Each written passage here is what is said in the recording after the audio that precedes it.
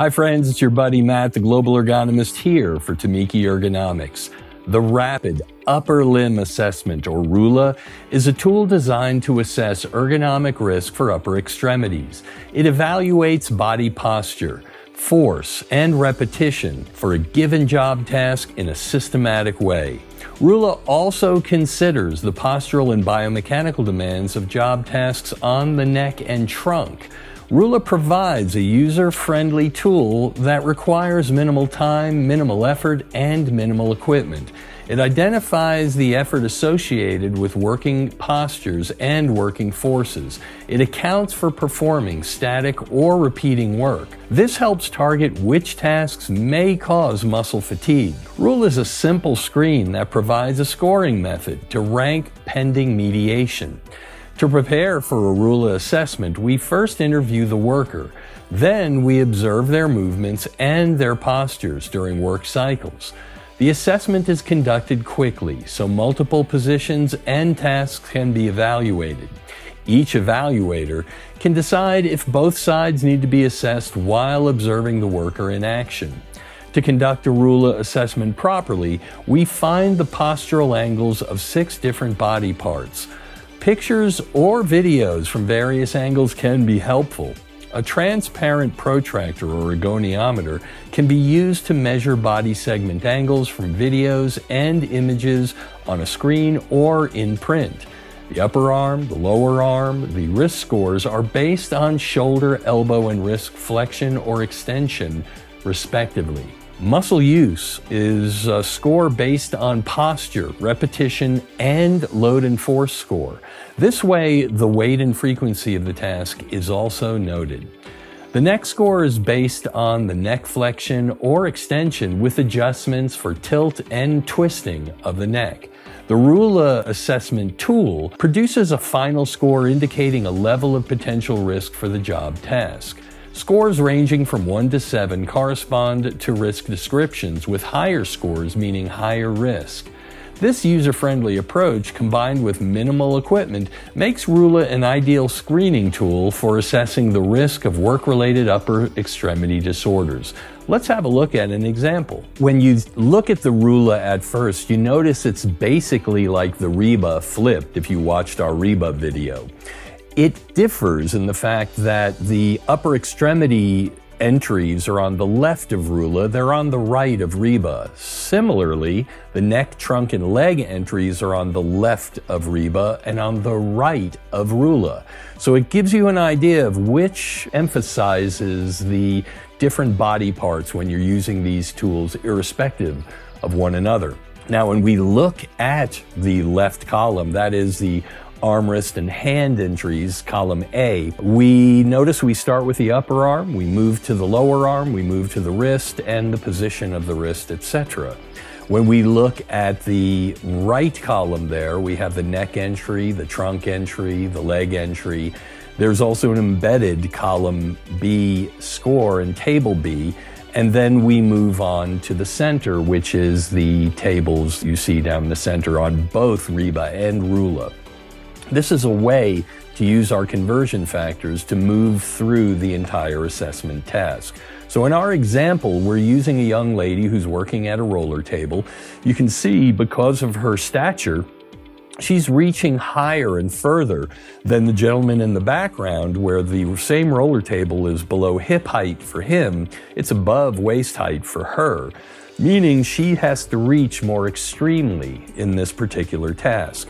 So when we gauge this appropriately, we notice that the upper arm score is going to be above 90 degrees. We're going to find that score and then find the appropriate entry in the table A that's in the green column there. Then we're going to look at her lower arm score, the extension of her elbow. We'll find that and then enter it appropriately in table A as well. Then we'll go down to her wrist score. We'll find that We'll find the appropriate column on table A. And finally, the wrist twist, which is basically pronation and supination, palm up, palm down. We find that, we find the score, and where that column intersects with those rows, that's our first conversion factor. We drag that into column A, and then we move through a muscle use score. That is a frequency or duration score. In this case, it's a frequency score. We enter it appropriately. And then we have a force and load score. In this case, these are boxes between four and a half and 20 pounds. We find the appropriate weight, we enter that. And our last step in table and column A, I should say, is to go ahead and find that final score and then mark it appropriately in table C. That's going to be in the purple area of table C. Now we move on to column B on the right of the page and complete our entries. First, the neck score where she's extended and rotated.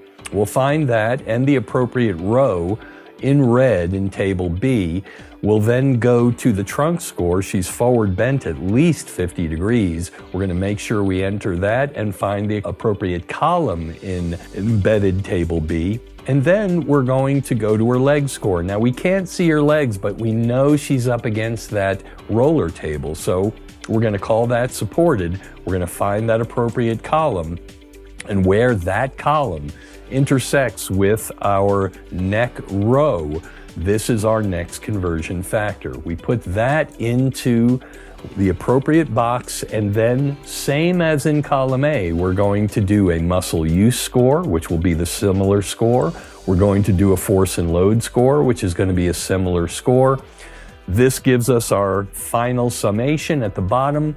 This is our table B score, and we find the appropriate column on table C. Now, where that column lines up with that arm and wrist score in purple from table A, where they intersect, that's going to be our table C score. That's going to be our final RULA score, which as you can see is a high one.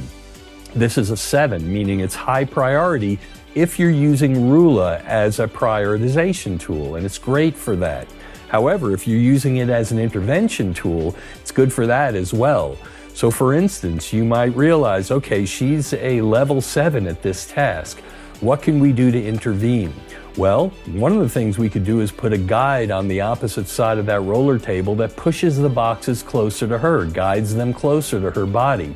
Second, because of her stature, we could give her a step stool to stand up on. So she's a little bit taller, similar to the person in the background. Now, we can take another RULA. And what we'll notice is we could knock that score from a seven down to maybe a three or four. That's a 50% reduction in relative risk. So you can use RULA to show the effectiveness of your intervention. You can also use it as a prioritization tool. And this is how we apply these kind of tasks. I hope you find that interesting because there's lots of different applications to these assessment tools. If you find the RULA is just too cumbersome, remember, video assessment tools like TuMeke Ergonomics can reduce time, effort, and expense in collecting, evaluating, and storing this type of ergonomic risk information. We'd be happy to tell you more, so feel free to reach out to us. In the meantime, this has been your global ergonomist, Matt Jeffs for TuMeke Ergonomics, reminding you to work smarter, not harder. Take care, everybody. Bye bye.